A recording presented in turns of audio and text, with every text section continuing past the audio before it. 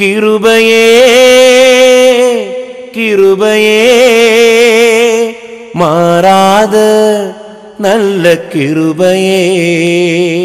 உங்க கிருபைதான் என்னை தாங்குகின்றது. உங்க கிருபைதான் என்னை நடத்துகின்றது. உங்க கிருபைதான் என்னை தாங்குகின்றது. உங்க கிருபைதான் என்னை நடத்துகின்றது.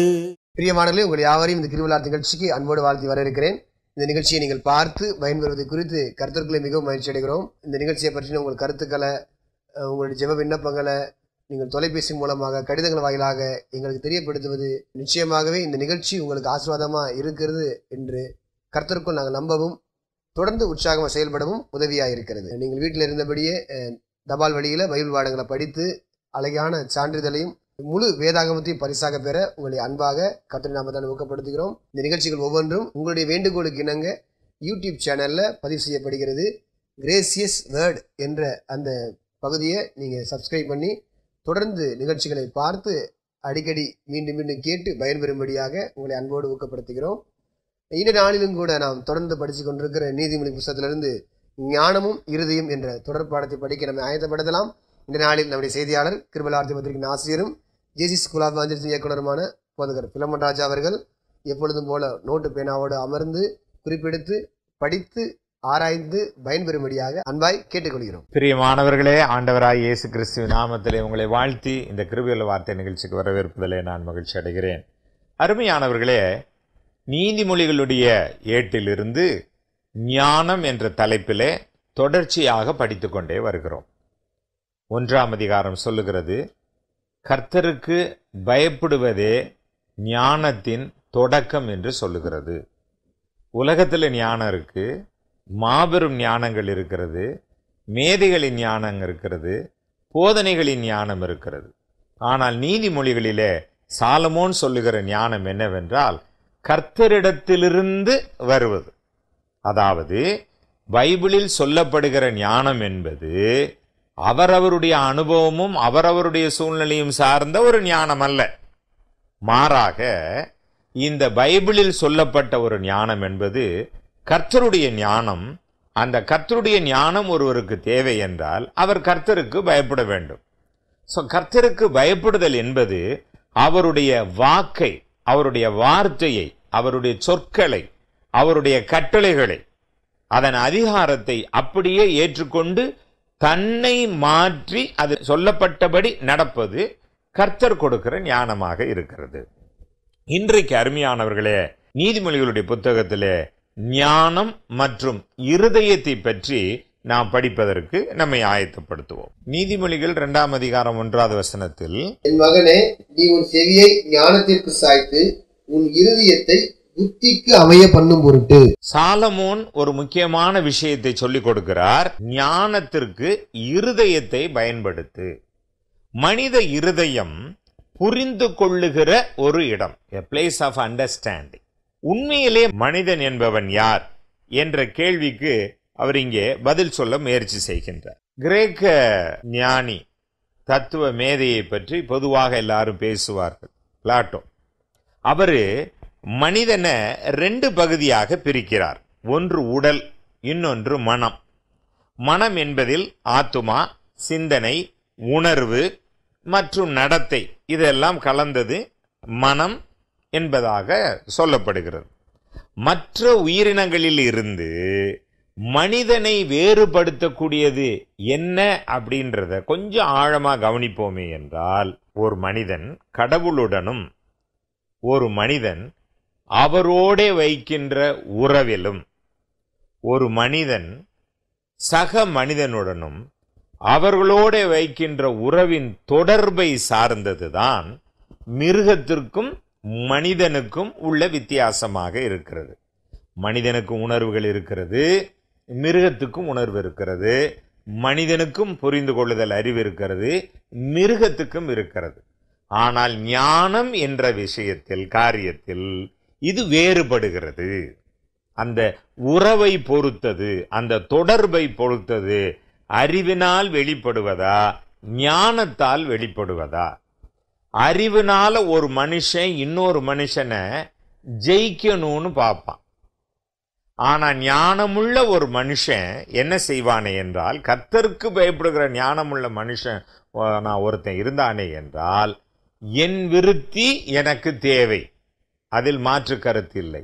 ஆனால் என் விருத்தியினாலே என் முன்னேற்றத்தினாலே இன்னொருவர் நஷ்டப்படக்கூடாது என்ற உணர்வுள்ள ஒரு ஞானம்தான் கர்த்தருக்கு பயப்படுகிற ஞானம். எல்லாரும் நல்லா இருக்கணும் நானும் நல்லா இருக்கணும் இது கர்த்தருக்கு பயப்படுகிற ஞானத்தினால் வரக்கூடியது. உலகத்தில் ஞானம் இருக்குது எப்படியாவது இப்படி போய் அப்படி போய் அது எனக்கு வர வேண்டியது. அதை நான் அடைந்தே தீர்வேன். அதை அடைந்தே தீர்வதற்கு நான் எதை வேண்டுமானாலும் செய்வேன். அது ஒரு வகை ஞானம். ஆனால் கர்த்தருக்கு பயப்படுகிற ஞானம் அது எனக்குரியது நான் அடைந்து தீர்வேன். இப்பொழுது முயற்சி செய்கிறேன் இப்பொழுது கூடி வரவில்லை என்றால் நான் விட்டு விடுகிறேன். ஏனென்றால் எனக்குரியது எப்பொழுதாவது அது என்னை வந்து சேரும். அப்படி வந்து சேரும் பொழுது பிறருக்கு அதனால் இடைஞ்சல் வராது. எப்பயுமே நான் சொல்கிற பழைய உதாரணம் தான் சொல்கிறேன் நீங்கள் வாலிப பிள்ளைகளை பார்த்தீங்கன்னா நல்லா வாகனம் ஓட்டுவாங்க. அவங்க சொல்லுவாங்க இது வரைக்கும் நான் ஓட்டிட்டு போய் யாரையுமே மோதினதில்லை. ஆனால் நல்லா கவனித்து பாருங்கள் அவங்க அந்த ஸ்பீடாக ஓட்டிட்டு போகிறப்ப வயசில் பெரியவங்க மற்றவங்க எல்லாரும் எப்படி நூற்றுக்கு ஒரு எழுபது சதவீதம் பேர் மனசு வெதும்பி வேதனையான வார்த்தைகளை அந்த வாகனத்தை ஓட்டுற பிள்ளைகளை எப்படியாவது சொல்லிடுவாங்க அப்புறம் அவங்களே மனசில் சொல்லுவாங்க நம்ம வீட்லேயும் ஒரு பிள்ளை இருக்குன்னு. ஆனால் முதல்ல சொன்னது சொன்னது தானே. இப்போ இதை ஏன் நான் ஞாபகப்படுத்த வரேன்னா இதே ஞானமுள்ள ஒருவன் தன் திறமையை காட்டுவதற்கு கிரவுண்டுக்கு போவான். ஒரு போட்டிக்கு போவான். தான் போய் பயிற்சி எடுத்து வெற்றி அடைவதற்கு பிறருக்கு இடைஞ்சல் இல்லாமல் செய்வான். ஆனால் என்னால் எந்த விபத்து வரலன்னு சொல்லக்கூடிய ஒருத்தன் அடுத்தவங்களுடைய வசதியோ மனநிலையவோ பார்க்காமல் தான் சாதித்ததாக அங்கே காட்டிக்கொள்ள முயற்சி செய்வான். கடவுளுக்கு பயப்படுறதுனால வர ஞானத்திற்கும் உலகத்தில் சாதிக்கணும்னு போகிற ஞானத்திற்கும் வித்தியாசம் இருக்கிறது. இன்க்ளூசிவ் அப்படின்னு சொல்லி சொல்லுவாங்க. நானும் நல்லா இருக்கணும் மற்றவர்களும் நல்லா இருக்கணும். சரி. இங்கே நான் வேதத்தில் சொல்லப்பட்டதை தொடர்ந்து பார்ப்போம். மனிதனுடைய உடல்ன்றது பொதுவாக சொல்லுவாங்க ஒரு டப்பா மாதிரி ஒரு பெட்டியை போன்றது. இன்னும் எல்லாருக்கும் நல்லா தெரிகிற மாதிரி சொன்னால் பெருங்காய டப்பா அப்படின்னுவாங்க. ஏன் அந்த வார்த்தையை நானும் பயன்படுத்த விரும்புகிறேன்னா பெருங்காயம் இருக்கும் பொழுது மாத்திரம் வாசனை இருக்காது. பெருங்காயத்தை எடுத்துட்டிங்கனாலும் அது கொஞ்ச நாள் அங்கே இருந்ததுனால அதுக்குள்ளே வாசனை இருக்கும். அப்போ வெறுசாக வருகிற வாசனை என்ற ஒரு ஞானத்திற்கும் அதுக்குள்ளே பொருள் இருந்து அதிலிருந்து வருகிற வாசனைக்கும் வித்தியாசம் இருக்கிறது. இப்போ என்ன காரியம்னா நாம வெளிப்புறமான உடல் ரீதியான வாழ்க்கைக்கு முக்கியத்துவம் கொடுக்கிற ஞானத்திற்கும் ஆன்மீக தெய்வீக கர்த்தருடைய கடவுளுக்கு பயப்படுவதனால் வரக்கூடிய ஞானத்திற்கும் வித்தியாசம் இருக்கிறது. பொதுவாக புரிஞ்சுக்கிறதுக்காக இந்த உதாரணம் சொல்கிறேன் சரியாக இருந்தால் பயன்படுத்திக்கங்க இல்லைன்னா விட்டுருங்க. சாது சந்நியாசி அப்படின்னு பேசுவாங்க. உங்களுக்கு தெரியும். சாதுக்கள் சந்நியாசி அப்படின்னா இந்த உடல் சார்ந்த எல்லாவற்றையும் வெறுத்து ஒதுக்கி போய் வேறு ஒரு வாழ்க்கையை தனக்கு முக்கியத்துவம் படுத்தி வாழ்கிறவர்கள். அப்போ அவங்களுடைய வாழ்க்கையினுடைய நோக்கம் வேற. அவங்களுடைய ஞானத்தினுடைய தாற்பயம் வேற. ஆனால் உடல் சார்ந்து வாழ்கிற சம்சாரி அப்படின்னு சொல்லுவாங்க. சம்சாரினா குடும்பஸ்தன்.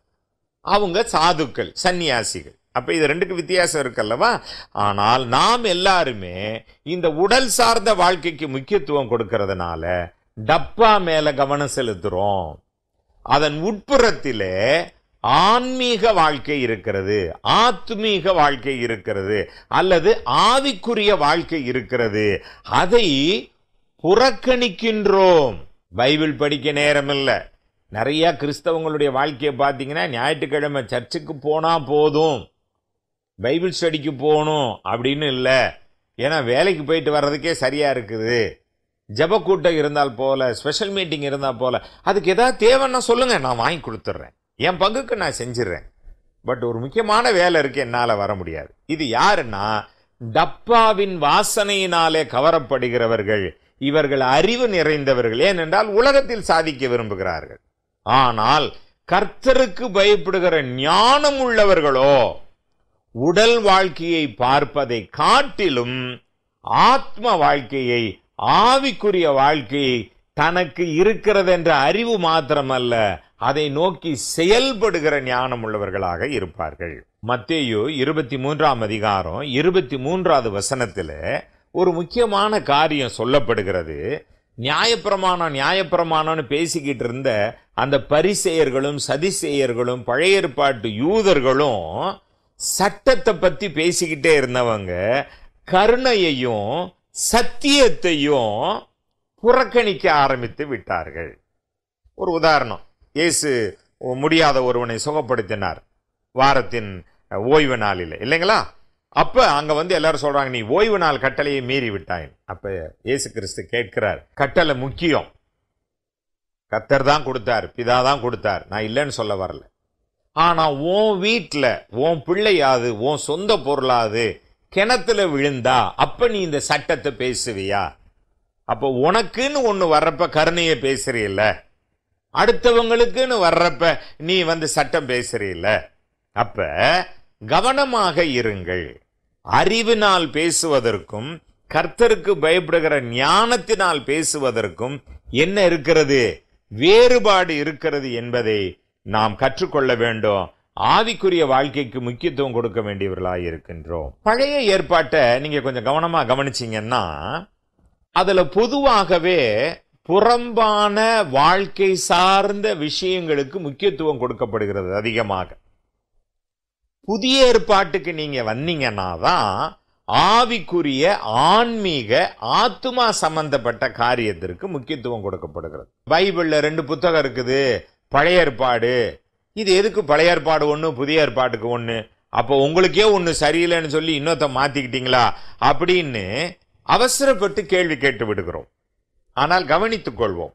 பழைய ஏற்பாடு என்பது உடல் ரீதியான நெருக்கம் கொண்ட இஸ்ரவேல் மக்களுக்காக அவர்கள் அந்த இஸ்ரேல் நாட்டிலே வாழ்வதற்காக கடவுள் கொடுத்த கட்டளைகளும் கட்டளைகளை சார்ந்த சடங்காச்சாரங்களும். ஆனால் கிறிஸ்துவின் மூலமாக வந்த இந்த புதிய ஏற்பாடோ புதிய உயிலோ உலகத்தில் இருக்கிற எல்லாருடைய ஆத்துமாவுக்காக ஆத்மீக வாழ்க்கைக்காக ஆவிக்குரிய வாழ்க்கைக்காக டப்பாவுக்காக அல்ல அந்த பெட்டியின் உள்ளே இருக்கிற அந்த உண்மையான பொருளாகி ஆத்துமாவுக்காக கொடுக்கப்பட்டது. ஆனபடியினாலே இங்கே அன்பும் கருணையும் முக்கியமாக பேசப்படுகிறது. இதை நாம் புரிந்து கொள்ள வேண்டியவர்களாக இருக்கின்றோம். புதிய ஏற்பாடு நீங்க கவனிச்சீங்கன்னா இந்த கடவுளுடைய ஞானம் பைபிள் ஞானம் மனுஷன் தன்னை பற்றியும் உலகத்தை பற்றியும் கடவுளை பற்றியும் விழிப்புடன் இருக்கிறதற்காக தன்னை அனுமதிக்கின்ற ஒரு உணர்வு நிலைய அது பேசுகிறது. அதை மூன்று பகுதிகளாக நாம் அதை படிப்பதற்கு நாம் ஆயத்தப்படுத்துவோம். மத்தேயு பதினைந்தாம் அதிகாரம் எட்டாவது வசனம். இந்த ஜனங்கள் தங்கள் வாயினால் என்னிடத்தில் சேர்ந்து தங்கள் உதடுகளினால் என்னை கனம் பண்ணுகிறார்கள். அவர்கள் இருதயமோ எனக்கு தூரமாய் விலகி இருக்கிறது. புதிய ஏற்பாடு வெளியில இருக்க பெட்டியை விட உள்ளே இருக்கிற அந்த பொருளுக்கு இந்த உடலை விட உள்ளே இருக்கிற ஆன்மாவுக்கு ஆன்மீக வாழ்க்கைக்கு ஆத்மீக வாழ்க்கைக்கு ஆவிக்குரிய வாழ்க்கைக்கு முக்கியத்துவம் கொடுக்கிறது. இயேசு பேசுறதை கவனிச்சு பாருங்களேன். இவர்களுடைய உடல் சார்ந்து உதடு பேசுகிறது அது வேறே. அவர்கள் உள்ளம் பேசுவது வேறே. அப்ப இயேசுவினுடைய அக்கறை எங்க போயிடுச்சு பாருங்க. உள்ளே ஆத்துமாவின் மீது ஆவிக்குரிய ஆன்மீக வாழ்க்கை வாழ விரும்புகிறவர்களுக்கு தெளிவாக முழுமையான வழிகாட்டி புத்தகமாக புதிய ஏற்பாடு இருக்கிறது ஏடாக. இதை மறந்து போய்விட வேண்டாம். அந்த மூன்று பகுதிகள் என்னவென்று கவனிக்கலாம். ரெண்டு குருந்தியர் மூன்றாம் அதிகாரம் பதினாறாவது வசனத்தில் மனிதன் மூன்று பகுதியாக இருக்கின்றான். உடல் ஆவி ஆத்துமா. என்ற பகுதியாக இருக்கிறான் என்று புதிய ஏற்பாடு தெளிவாக பேசுகிறது. ரெண்டு பேதர் இரண்டாம் அதிகாரத்துல எட்டாவது வசனத்துல நாள்தோறும் அவருடைய அக்கிரம கிரியைகளை கண்டு கேட்டு நீதியுள்ள தன்னுடைய இருதயத்தில் வாதிக்கப்பட்ட நீதிமானாகிய லோத்தை அவர் ரசித்திருக்க இருதயத்தில் என்ற ஒரு வார்த்தை வருகிறது. கொரிந்தியர்ல பார்த்தோம் உடல் என்ற வார்த்தை இங்கே இருதயம் என்ற வார்த்தை வருகிறது. அப்ப மனிதன் ஆவி உடல் ஆத்துமா என்ற நிலையில் இருக்கிறான். ஆதியாகமும் ஒன்னாம் அதிகாரம் இருபத்தி ஆறாவது வசனத்தில் பின்பு தேவன் நமது சாயலாகவும் நமது ரூபத்தின்படியேயும் மனுஷனை உண்டாக்குவோமாக அவர்கள் சமுத்திரத்தின் மச்சங்களையும் ஆகாயத்து பறவைகளையும் மிருக ஜீவன்களையும் பூமி அனைத்தையும் பூமி மேல் ஊறும் சகல பிராணிகளையும் ஆளக்கடவுள் என்றார். மனிதன் என்பவன் இரண்டு பகுதி உடையவனாக இந்த ஆவியும் ஆன்மாவும் அப்படின்ற வார்த்தை சொன்னாலுமே அது ரெண்டுமே தனித்தனியாக இருக்கிறது என்று வேத புத்தகம் எபிரேயரில் நாலாம் அதிகாரத்தில் நமக்கு சொல்லுகிறது. மனிதனுடைய மூன்று தனித்துவமான நிலை என்னன்னு ஒன்று தெசலோனிக்கர் ஐந்தாம் அதிகாரம் இருபத்தி மூன்றாவது வசனத்துல ஒரு தெளிவான விளக்கம் இருக்கிறது. சமாதானத்தின் தேவன் தாமே உங்களை முற்றிலும் பரிசுத்தமாக்குவாராக. உங்கள் ஆவி ஆத்துமா சரீரம் முழுவதும் நம்முடைய கர்த்தராய் இயேசு கிறிஸ்து வரும்போது குற்றமற்றதா இருக்கும்படி காக்கப்படுவதாக. இருதயம் என்பது விருப்பத்திற்கும் சிந்தனைக்கும் ஆதாரமான இடம். அப்ப அந்த இருதயம் அந்த ஆன்மா அந்த சிந்தனை அந்த விருப்பம் கர்த்தருடைய ஞானத்தினாலே வழிநடத்தப்பட வேண்டியது அவசியமானதாக இருக்கிறது. அந்த இருதயம் உணர்ந்து கொள்ளக்கூடியது. அந்த இருதயம் அறிந்து கொள்ளக்கூடியது அந்த ஹார்ட் அது அறிவுபூர்வமானது. அதுக்குள்ள என்ன செய்தியை அனுப்புகிறோமோ அதை நாம் செயல்படுத்த அது நம்மை வழிநடத்தும். அதனால தான் வசனம் சொல்லும் பொழுது சொல்லுகிறது எல்லாவற்றை பார்க்கிலும் இருதயமே மகா திருக்குள்ளதும் கேடுள்ளதுமாய் இருக்கிறது அதை அறியத்தக்கவன் யார்? அப்படின்னு சொல்லியிருக்குது. அப்போ இருதயம் நம்மை இயக்குகிறது அந்த இருதயமானது கர்த்தருக்கு பயப்படுகிற ஞானத்தினாலே அது இருக்க வேண்டியது அவசியமானதாக இருக்கிறது. உணர்ச்சிகள் தொடர்பானதாக இருக்கிறது.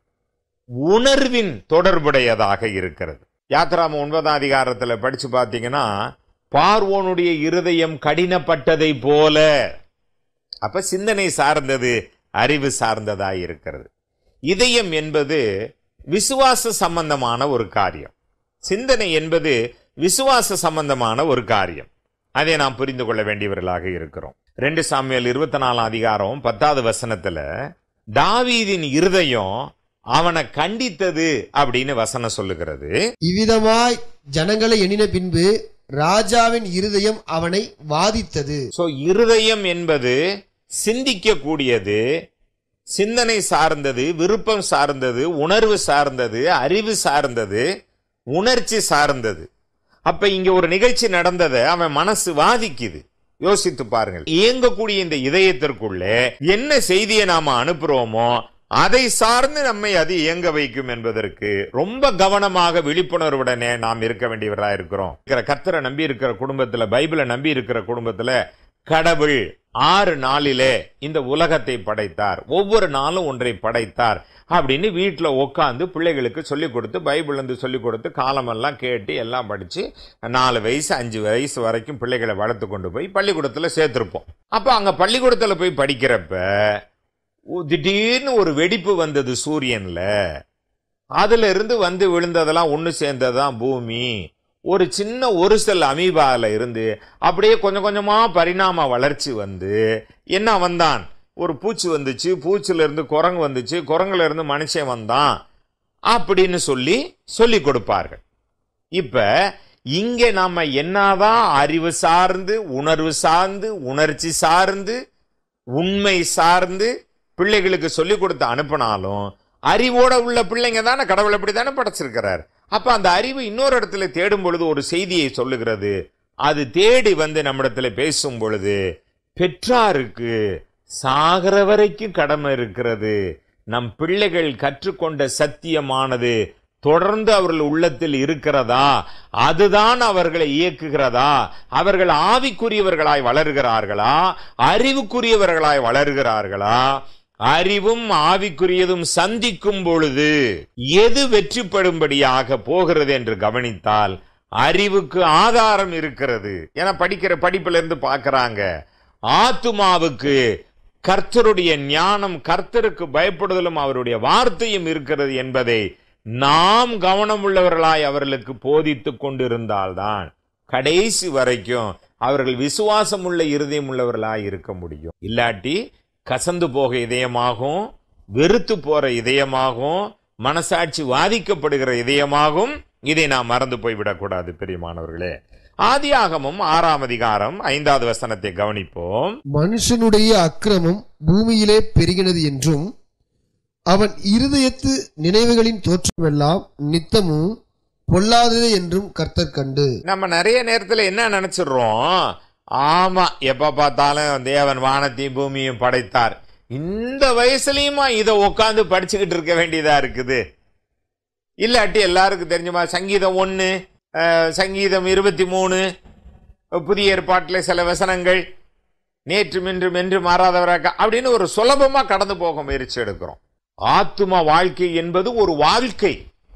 உடல் வாழ்க்கை என்பது உடல் உயிரோட இருக்கிற வரைக்கும் அதற்காக நாம் எப்படி வேலை செய்து கொண்டு இருக்கிறோமோ அதை போல உடல் இருக்கும் வரை உயிர் இருக்கும் வரை ஆத்துமா இருக்கும். ஆத்துமா இருக்கும் வரை அதன் தேவைக்காக அதன் அறிவுக்காக அதன் விசுவாசத்திற்காக நாம் தொடர்ந்து வேலை செய்து கொண்டே இருக்க வேண்டியவர்களாய் இருக்கிறோம் கற்றுக்கொண்டே இருக்க வேண்டியவர்களாக இருக்கின்றோம் நேற்று படித்தது வேற நினைவிற்கா நம்ம பிள்ளைங்க நம்மகிட்ட பேசுறாங்க உங்க காலத்துல நீங்க பிள்ளைகளுக்கு கொடுத்த மருந்தெல்லாம் இப்ப சொல்லாதீங்க. இப்ப அதை விட இம்ப்ரூவ்மெண்ட் ஆன மருந்து வந்திருக்கு. ஆனாலும் பிள்ளைகளுக்கு சரியா போயிடும் பாருங்க நீங்க சொன்னதை கொடுத்து இப்படி ஆகி போச்சு நான் பேசுவது புரிகிறதா? அப்ப உடல் இப்ப லேட்டஸ்டா ஏத்துக்குதுன்னா வேற தகவல் போய் சேர்ந்துருக்கு.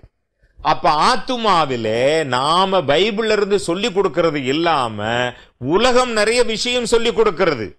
அப்ப நமக்கும் நம் குடும்பத்திற்கும் கர்த்தருக்கு பயப்படுவதனால் வருகிற ஞானம் நம் ஆத்துமாவை பாதுகாக்கிறதா?